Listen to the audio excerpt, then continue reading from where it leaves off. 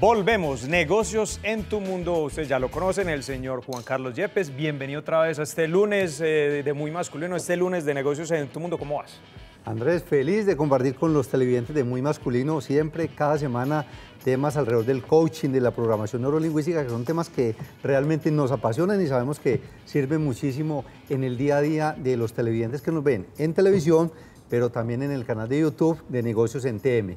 Hoy nos trae, como siempre, Juan Carlos, esos, esos temas que aplicamos en el día a día y hoy nos va a traer unas claves para optimizar el tiempo en nuestras actividades. Y usted que dice que los televidentes lo siguen, justamente la semana pasada vino aquí un, un, invitado a hablarnos de brochas y de pinturas, que también son temas muy, muy de muy masculino. Y él nos dijo, yo estoy aplicando lo que dijo Juan Carlos Yepes, de cómo... El anclaje. El anclaje, no sé qué, o sea, eso cala y, la, y la gente yo sé que lo, lo, usa y lo, lo, pone en práctica en sus actividades. Bueno, entonces, ¿cuáles son esas claves que nos trae hoy? Pues entonces hoy vamos a hablar sobre algunos aspectos a tener en cuenta para que el trabajo sea más delicioso, más efectivo y sobre todo que el tiempo me rinda, porque sé que muchos televidentes al final de la noche llegan y dicen, uy, siento como que hice muchas cosas, pero que el tiempo no me rindió. ¿Qué hacer?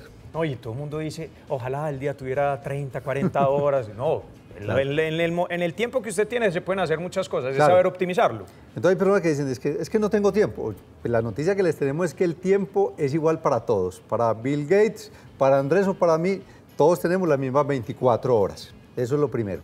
Segundo, existen técnicas. Eh, recientemente me aprendí la técnica Pomodoro, la estuve visita, eh, investigando en internet y dice que cuando usted tenga algo importante para hacer y si usted se quiera concentrar en ello, hágalo en periodos de 25 minutos. Quiere decir, ponga en su teléfono celular o en su cronómetro o en su reloj 25 minutos seguidos. Pero eso sí, eliminando cualquier otro distractor. No redes sociales, no WhatsApp, no Facebook, nada. Solo 25 minutos enfocado en lo que va a hacer. Terminados esos 25 minutos le va a salir una alarma. Entonces tiene 5 minutos de descanso para que se levante, vaya al baño, revise WhatsApp, devuelva una llamada. 5 minutos. Nuevamente 25 minutos dedicado a esa tarea que es importante y cinco minutos de descanso. Cuando lo haya hecho cuatro veces seguidas, ahí sí se puede tomar un descansito más largo. Cuando usted aplique esta técnica, con toda seguridad le va a rendir muchísimo más, sobre todo en esas tareas que son importantes y que requieren máxima dedicación. Me imagino que va muy de la mano de lo que usted nos hablaba el programa pasado de los hábitos, que si eso usted lo convierte en hábito y lo hace periódicamente, ya el cuerpo se va a conectar. Claro, esta técnica Pomodoro se convierte perfectamente en un hábito y lo aplico no para una sola cosa, sino para muchas eh, actividades, tareas que tengo en la vida. Segundo, eh, porque hoy son varias, varios, varios consejos importantes. Yo le voy a poner un acertijo y también para que los televidentes lo piensen en su casa o en su oficina, eh, frente a la pantalla de internet. Yo le voy a dar a usted tres, cuatro elementos para meter dentro de una vasija. Aquí hay una vasija, imagínense acá. Y vamos a meter cuatro elementos. Yo tengo aquí agua, tengo arena, tengo unas piedras muy grandes y tengo otras más pequeñas. La idea es cómo acomodo yo dentro de esa vasija esos elementos, en qué orden los debería poner para que todos me quepan bien. ¿Yo veré cuál orden? Sí, o sea, ¿cuál considera usted que es el más acertado? Tengo piedras grandes, pequeñas, agua y arena, ¿cierto? Sí. Bueno, entonces vamos a poner las piedras grandes, las piedras pequeñas. Porque las piedras pequeñas se meten entre las grandes, ¿cierto? Luego, ¿cuál sería? ¿El agua o la arena? No, yo creo que la arena. La arena, sí, sí, sí. Y finalmente... El agua. El agua. Mire, ese, es un elemento, seguramente los televidentes, la mayoría llegaron al mismo, a la misma conclusión primero ocúpese las piedras grandes. Usted dijo, de primero las piedras grandes, aplique eso en su vida cotidiana. Cuando usted tenga una cantidad de cosas para hacer en el día, haga primero las más importantes, las que generen un mayor impacto sobre la organización, sobre usted, sobre su vida cotidiana. Porque a veces nosotros hacemos un listado de cosas para hacer, pero las hacemos en ese mismo orden en que la apuntamos. Entonces, no haga las cosas en el mismo orden. Priorice Básicamente aquí el tema es cómo priorizamos para que primero le demos mayor importancia a las piedras grandes.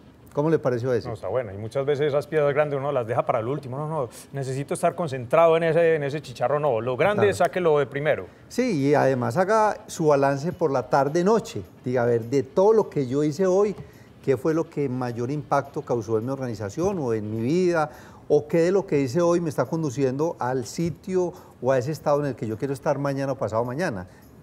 Esa, esa pregunta es muy importante. Listo, ¿qué, sigue, qué se sigue entonces después de las...? Obviamente tener muy clara la lista de pendientes y sobre todo organizarlas en el calendario, o sea, póngalas en la agenda, pues el que, yo creo que ya hay, poquita gente con agenda manual escrita, pero sí eh, todos estos dispositivos, el celular, el iPad, eh, los, las tablets, todos tienen un calendario.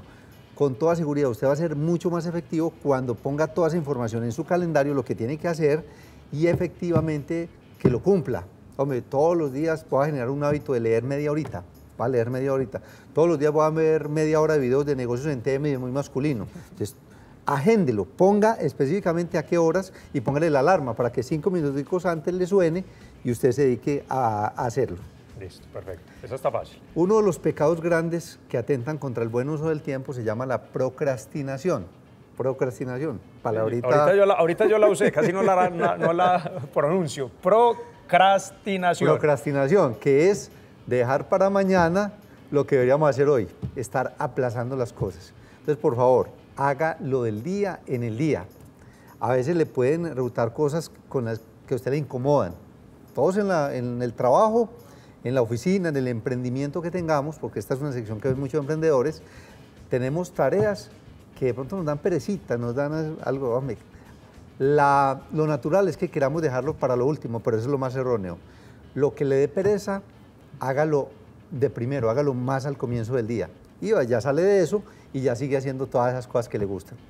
Y hay otra cosa muy importante, Andrés, que es delegar. O sea, hay, hay cosas que definitivamente yo tengo que saber que tengo un equipo de trabajo y que cualquiera de ellos va a estar muy gustoso de apoyarme en hacer esa, esa labor. Entonces el tema de delegar. Y evitar distractores. ¿Le ha pasado? Que empieza uno a hacer algo, pero le suena por aquí el celular, por aquí tenés varias ventanas abiertas, entonces la tentación de ir a Facebook a ver qué me escribió, de WhatsApp, eh, Twitter, va a trinar esto. Entonces se, se convierte en una falta de foco, falta de atención. Tratemos de hacer algo a la vez por ahí dicen, es que hay personas que dicen, no es que yo soy multitarea. Y muchas mujeres lo dicen, yo soy multitarea. Eh, ya hay estudios científicos eh, que demuestran que el cerebro realmente no es tan multitarea como nosotros creemos. Entonces es mejor enfocarse en una cosa a la vez, hacerlo muy bien y luego ya sí pasar a otra cosa. Juan Carlos, Interesante los temas que usted nos trae los lunes aquí en esta sección Negocios en tu Mundo y esa recomendación que siempre hace. Usted a veces nos trae algunas lecturas, pero me imagino que invitar a que vean estos videos en su canal de YouTube, a que las redes sociales también lo sigan. Claro, y obviamente estamos en arroba negocios en TM. Todas las, redes del, del programa y de Negocios en tu Mundo son negocios en TM. Y obviamente recomendarles el libro Historias de Negocios, altamente inspiradoras, donde van a encontrar historias maravillosas que seguramente les, les van a servir muchísimo porque es gente que lo ha sabido sacar de la cabeza y ha convertido esas ideas en realidad. Está en todas las librerías y en Cordi Útil. Perfecto, Juan Carlos, muchas gracias por estar aquí en Muy Masculino. Vamos a hacer otra pausa cortica y seguimos con mucho más. Quédense conectados.